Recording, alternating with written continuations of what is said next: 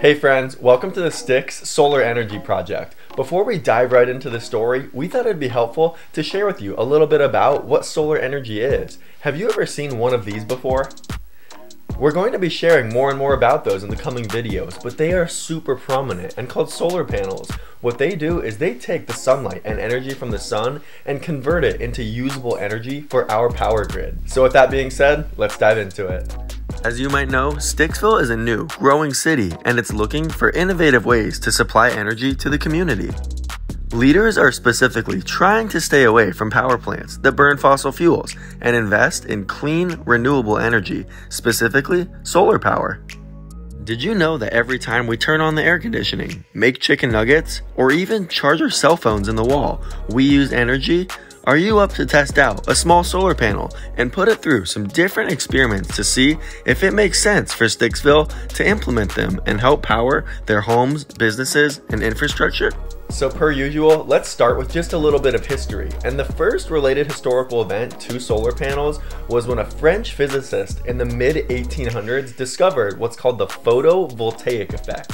And what happens here is he discovered that an electric current started to be produced when he saw that something was exposed to the sun. The thing is, when major discoveries with major implications like that happen, it sparks all kinds of creative people, companies, and governments to start to explore and research that technology. They start to look into things like the materials used for it, the data around it, how they can apply it, and all kinds of cool stuff.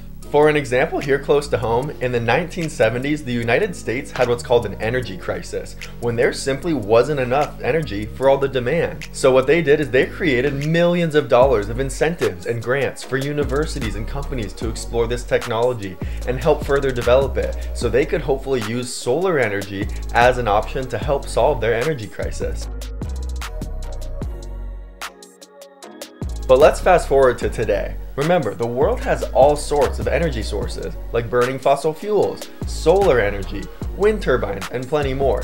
Can you quickly pause this video and brainstorm and ask a neighbor, what percentage of all of the United States energy do you think comes from solar right now? The quick answer is although the solar industry is huge and expanding and doing cool things, as of right now, it still provides less than 3% of our total energy. So that question is actually a great transition into how this actually all relates to us today. Remember, like we mentioned earlier, solar is the talk of the town these days, and there's all kinds of innovation happening. For example, check out some of these images. Plus, we just let you know that only 2.8% of our current energy comes from solar.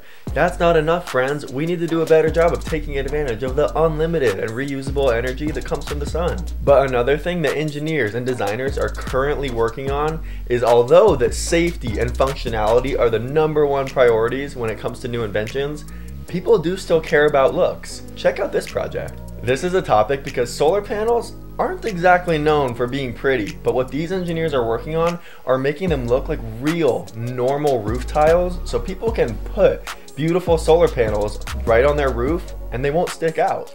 Finally, friends, just to share with you how seriously the federal government is taking this topic, they just increased their budget by 16.7 billion dollars for renewable energy initiatives. That is a ton of money, and it's going to be up to you all to use that money and take advantage of those grants to help make meaningful change. So by the time this project is all wrapped up, we just want you to be a little bit more familiar with solar panels and solar energy and how it works. You're going to get a chance to build one and mess around with some of these solar concepts for yourself and take a project home. And you're even going to get to hear from a professional in the field and hear what they have to say about working in the solar industry. See you guys in the next video.